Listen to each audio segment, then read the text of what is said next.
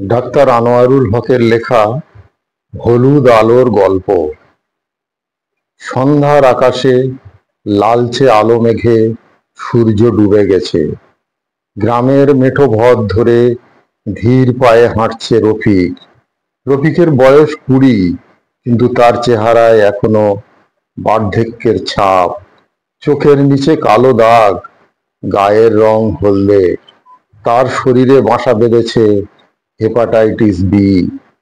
রফিকের মা প্রতিদিন নানা ঘরোয়া উপায়ে চেষ্টা করছেন তাকে সুস্থ করতে, কিন্তু কোনো ফল হচ্ছে না।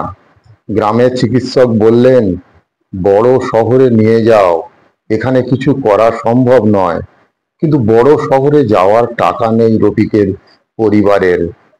একদিন গ্রামের মেলায় রফিকের বাবা আজিজ, হোমিওপ্যাথি ডাক্তার লস্করের সঙ্গে কথা বললেন। ডাক্তার লস্করের নাম সবাই জানে। তিনি খুবই দয়ালু এবং স্নেহশীল। আজিজের কথা শুনে ডাক্তার লস্কর বললেন, তোমার ছেলেকে নিয়ে আমার কাছে এসো একদিন। আমি দেখি কি করতে পারি।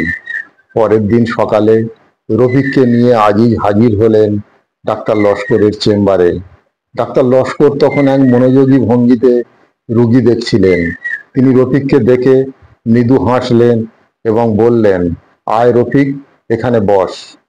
ডাক্তার লস্কর রফিকের সমস্ত উপসর্গ মনোযোগ দিয়ে শুনলেন কেস টেকিং করলেন, পরীক্ষা করলেন এবং রেপাটারিজেশন করলেন। তারপর বললেন, তুমি চিন্তা করো না হেপাটাইটিস খুবই গুরুতর রোগ, কিন্তু আমি তোমার জন্য একটি ওষুধ লিখে দিচ্ছি। নিয়মিত খাবে আর সময় মেনে খাবে এবং নিয়ম মেনে চলবে। ডাক্তার লস্কর একটা ছোট্ট বোতলে কিছু সাদা দানা দিলেন এবং বললেন, এটা প্রতিদিন খেতে হবে আর এই মলমটি প্রতিদিন শরীরে লাগাতে হবে। রফিক ধীরে ধীরে ওষুধ খেতে শুরু করল এবং মলম ব্যবহার করতে লাগল। প্রথম কয়েকদিন কিছু বোঝা গেল না, কিন্তু এক সপ্তাহ পরে রফিক বুঝতে পারল তার শরীরের পরিবর্তন আসছে। ধীরে ধীরে তার গায়ের হলদে রং কমে আসতে লাগল চোখের নিচের কালো দাগও হালকা হতে লাগল। দুই সপ্তাহ পরে রফিক শরীরের অনেকটা ভালো হতে শুরু করল। তিন সপ্তাহ পর রফিক আবার প্রাণবন্ত হয়ে উঠল। তার শরীরে সমস্ত ক্লান্তি দূর হয়ে গেল। গ্রামের সবাই রফিকের এই আশ্চর্য সুস্থতায় অবাক হলো। আজিজ গিয়ে ডাক্তার লস্করকে ধন্যবাদ জানিয়ে আসলেন।